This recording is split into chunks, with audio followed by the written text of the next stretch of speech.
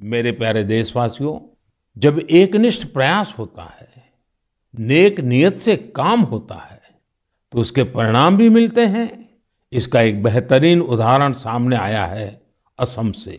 असम का नाम लेते ही वहाँ के चाय बागान और बहुत सारे नेशनल पार्क का ख्याल आता है।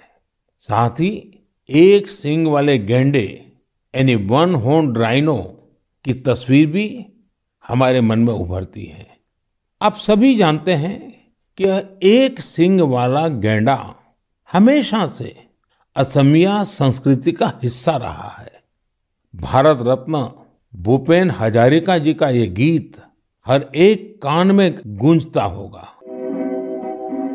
কাজিৰঙাৰ চিৰ সেউজ পৰিৱেশ হস্তি ব্যাঘ্ৰৰে পাত এক খৰগৰ গড় পৃথিৱীয়ে চাই পক্ষীৰ সুদিয়া প্ৰকাশ মোৰ কাজিৰঙা নহয় যে বন্য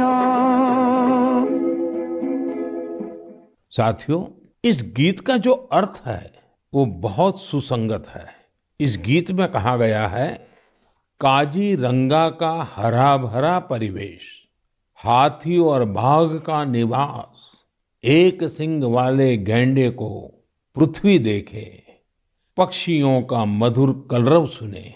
असम की विश्व प्रसिद्ध हथकरघा पर बुनी गई मुंगा और एरी की पोशाकों में भी गैंडों की आकृति दिखाई देती है।